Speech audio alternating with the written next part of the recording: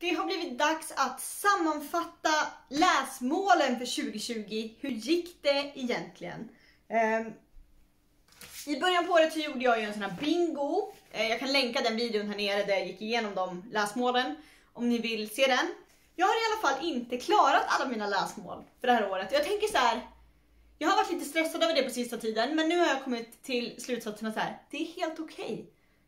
Jag har läst mer än dubbelt så många böcker som jag liksom hade som mål att läsa i år.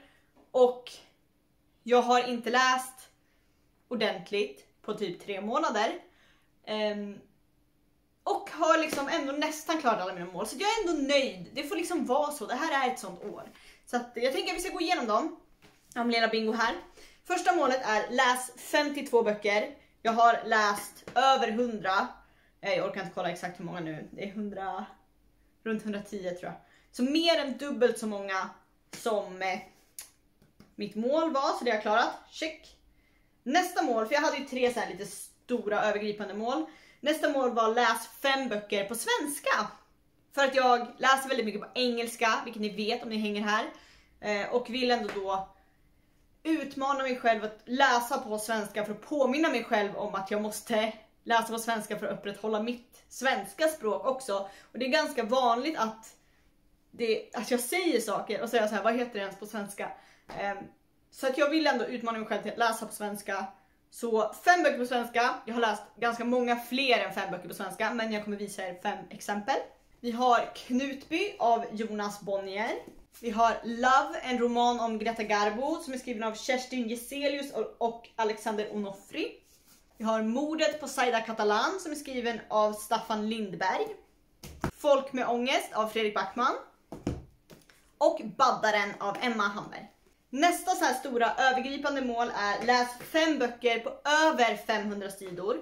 Eh, och det målet satte jag lite för att jag vill Nej men också utmana mig själv och ge mig själv någonstans andrum att känna att så här, jag vill läsa den här serien eller den här boken och den är jättelång och det är inte slöseri med tid. Um, för att jag läser mycket fantasy och fantasy är oftast ganska långa böcker.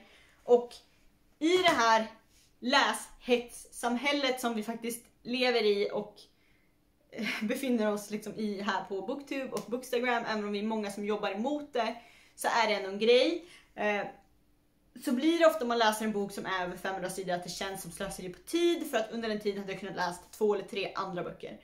Men jag ville ändå ge mig själv det andrummet att vara så här du vill läsa den här boken, sätt dig och gör det. Så att fem böcker över 500 sidor, det har jag gjort. Jag har läst mer än fem böcker, men ni kommer få fem exempel även här. Vi har The Ballad of Songbirds and Snakes av Susan Collins. Den är 518 sidor tror jag att det var. 517 sidor. Vi har Midnight Sun av Stephanie Meyer. Den är 756 sidor. Vi har Vi mot er av Fredrik Backman, den är 519 sidor.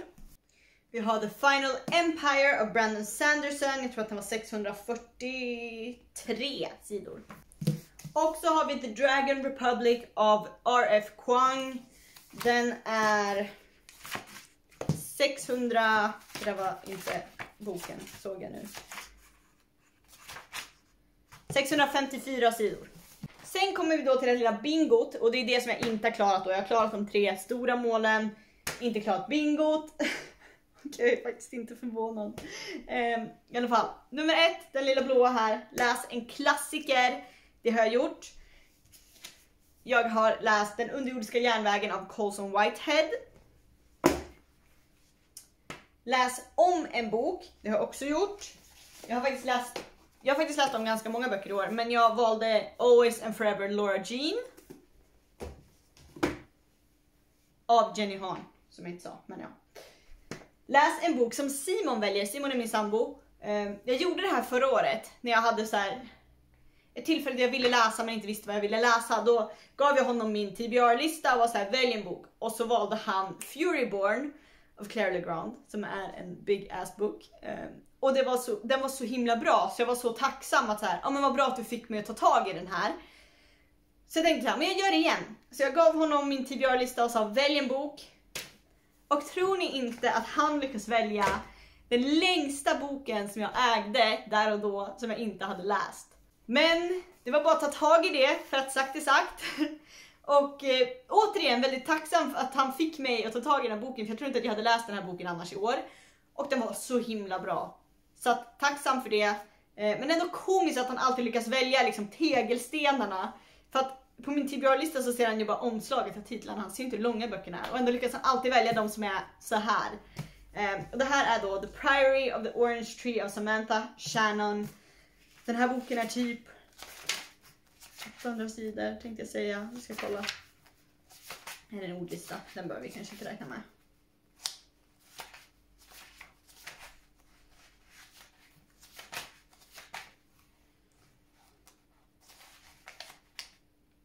...804 sidor är den här boken.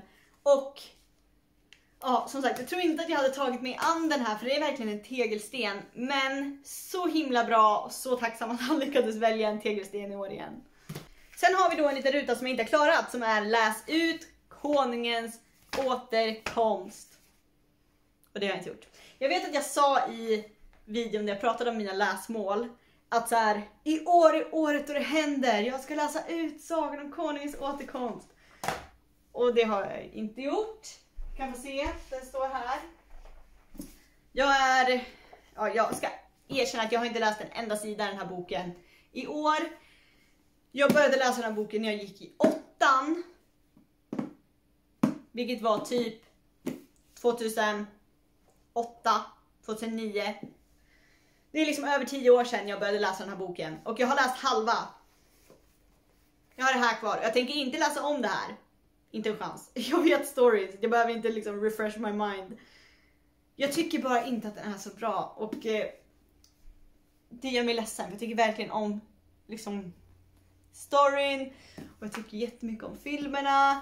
Och jag tror kanske att jag läste de här när jag var för ung, att jag inte riktigt var där då och att jag kanske skulle uppskatta dem nu. Men den känslan, den här tanken på att läsa den här boken ger mig så här tio år senare gör inte att jag är så sugen på att börja om på ettan igen. Eh, så att jag hade satt som, ett, som, ett verkligen, som en riktig utmaning för mig själv att i år ska du läsa ut Konungens återkomst. Men det har jag inte gjort. Sen har vi rutan i mitten som är läs en bok med över 5,5 i Goodreads rating. Jag trodde att det här skulle vara ganska enkelt. Men sen började jag kolla och insåg ganska snabbt att jag ägde en enda bok som jag inte hade läst som hade över 4,5 i Goodreads rating. Jag hade ganska många som var så 4,49, 4,48 och det gilldes ju inte. Så därför blev det helt enkelt Harry Potter and the Goblet of Fire av J.K. Rowling, den illustrerade utgåvan. För det var den enda jag ägde som jag inte hade läst som klassades in på det här målet. Vill för övrigt bara säga att jag har slutat använda Goodreads som ni typ brukar följa mig där så är jag inte aktiv på Goodreads längre. Jag använder numera The Storygraph. Det kan ni kolla in om ni inte gjort redan. Jag har ramlat om det förut så jag gör inte det igen. Jag använder numera i alla fall The Storygraph istället för Goodreads som ni brukade följa mig där så eh, händer det ingenting på det kontot längre. Det finns kvar men jag har inte uppdaterat det sedan jag började använda The Storygraph. Sen har vi Läs en bok från den nedersta raden i bokhyllan. Eh, det var Simon som kom på det läsmålet. Och eh, den här nedersta raden i min bokhylla har liksom blivit, den är egentligen inte det om jag kollar vilka böcker som står där, men i mitt huvud så har den blivit slaskhylla liksom så här, där jag ställer sånt som inte får plats någon annanstans eller som är lite konstig höjd, konstig form. Eh, då hamnar de längst ner. Och som sagt, om jag kollar igenom den så står det mycket böcker där som jag tycker är riktigt bra. Så det är liksom egentligen inte så här skyffla undan hyllan. Men det har, jag har fått den känslan. Så det var ett ganska roligt mål. Och det har jag klarat. Jag har läst Gina Dirabis Paradiset ligger under mammas fötter som huserar på det nedersta planet i bokhyllan. Därav tar er den här utmaningen. Sen har vi Läs en nobelpristagare. Jag tycker generellt att många nobelpristagare är lite torra. Lite som eh, min känsla för klassiker. Det finns några som jag tycker är riktigt bra. Sen så om jag generaliserar och drar allt över samma kam så är de generellt ganska tråkiga och torra och inte min grej. Men jag vill ändå liksom utmana mig själv som sagt. Det är det jag vill göra med mina läsmål, utmana mig själv lite. Så därför tog jag med det här och jag gjorde lite research, frågade det på Instagram, fick lite tips och valde den här. Mannen utan öde av Imre Kertész. Kertész? Kertész? Kertész? ingen aning. Eh, det är en bok om andra världskriget, riktigt bra, riktigt gripande och den har jag läst. Sen har vi då nästa som jag inte har klarat som är läs de fem böckerna från videon. Eh, fem böcker jag vill läsa 2020 eller något sånt. Eh, jag gjorde en sån video, kan länka den här nere också. Jag har inte klart det. Jag har läst tre av dem, DNFat en av dem och den femte har jag faktiskt inte ens påbörjat. Ska jag ärligt säga. Boken som jag DNFade, alltså did not finish, valde att inte läsa ut, är För att väcka hon som drömmer av Johanna Nilsson. Och det gör mig lite ledsen för jag tycker verkligen, verkligen om Johanna Nilsson. Um, och det faktum att jag inte tagit ut mitt bokmärke härifrån, jag kom halvvägs ungefär.